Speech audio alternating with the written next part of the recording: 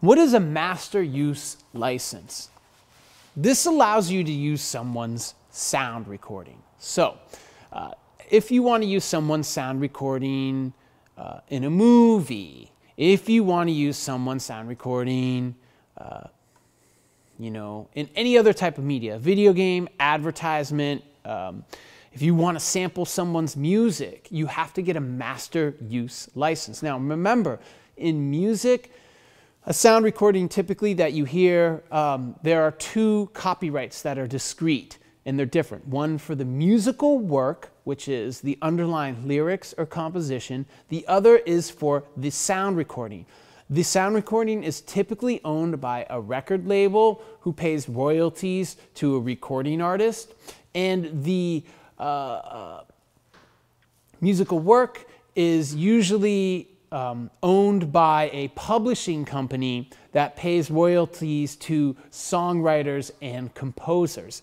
The songwriter and composer could also be the recording artist, or the songwriter and composer could be someone totally different. Again, most pop music is not written or composed by um, the sound recording artists that, that, that we hear. It's usually done by someone else or a team of other people, or that artist you hear, the sound recording artist, plus a team of, of people, etc. So a master use license is for film, you know, using someone's sound recording, what you hear. Now, the problem is when you use a sound recording, someone's music, or it could be just literally a sound recording of a speech or anything like that. But for, when you use someone else's, someone's music, um, in a film or sample someone's music, whatever, and you get a master use license, that only covers for what you hear.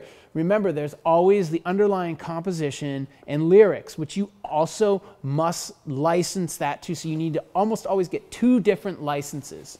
Okay. Uh, a master use license is negotiated by a record label and um, whoever wants to license it. Uh, typically, there's an upfront fee, and this is just random. It's just, you know, I want to sample someone's m- music, and the record label could tell me 10 G's upfront plus 25% of your sales. And then I would, so that would be for the master use. And then I'd need to license it from whoever the fuck wrote it. Um, and even if I don't use any of the lyrics, I still have to, you know, pay for that. so I need to get like the master use for the, the, the beats for the music I use, and then I need to clear it on the sound record uh, on the on the publishing side for the, for the lyrics and composition, and they could claim all of my songwriting royalties or whatever.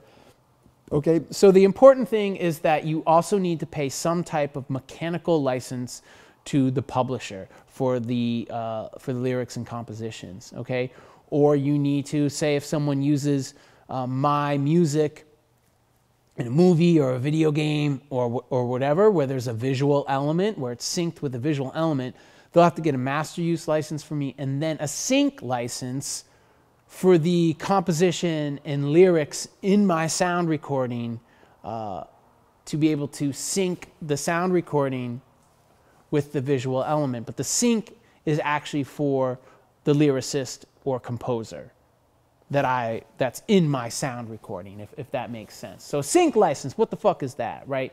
Uh, anytime you pair a visual element with with with um, anything, a song typically that has uh, lyrics and a composition in it, you have to get a sync license. So again, if I want to use a song for my documentary, I get a master use license from uh, from uh, from the record label, okay, and then I have to get a sync license from whoever is the publishing company who represents the songwriter and the composer. So the sync covers the musical work, the master use covers the sound recording that we hear. The musical work is the composition and lyrics. I just want to really beat that beat that down to Funky Town with y'all.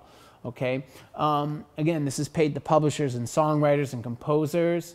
Um, and it allows you to re record a composition, um, you know, and pair it with a visual element or just use a recording of it. So, like, again, um, maybe I want to use Bob Seger's Good Time Rock and Roll, right?